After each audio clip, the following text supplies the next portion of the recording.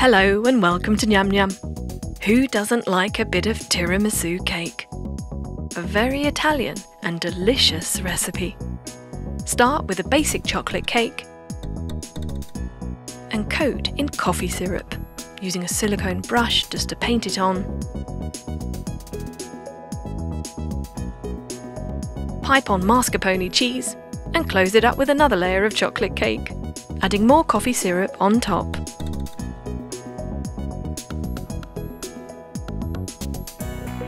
Now use the turntable to coat the entire cake in mascarpone cheese and smooth it out.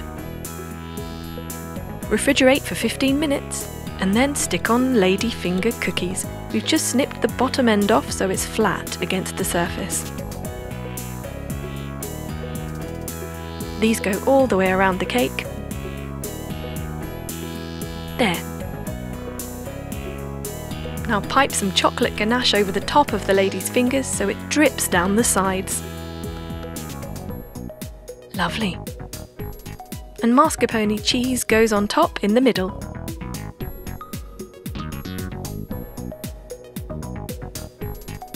Then dust on some cocoa powder for a finishing touch.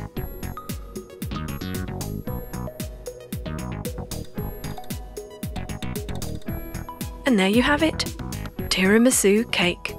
Your favourite Italian pudding combined with a chocolate cake. What's not to like?